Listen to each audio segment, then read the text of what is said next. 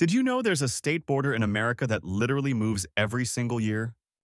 The boundary between Nebraska and South Dakota shifts constantly because it follows the Missouri River's main channel.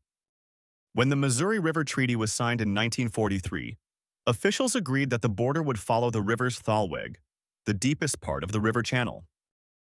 But here's the catch. The Missouri River is notorious for changing course with seasonal flooding and erosion.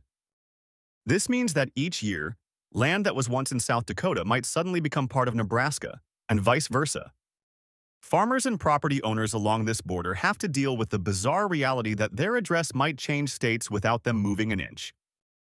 In some places, this shifting border has moved nearly half a mile over decades. The states conduct regular surveys to update maps, but by the time they're published, the border has already moved again. This is one of America's strangest geographic oddities, a border that refuses to stay put. If you enjoyed learning about this wandering boundary, Make sure to share this video, hit like, and subscribe to USA Oddities.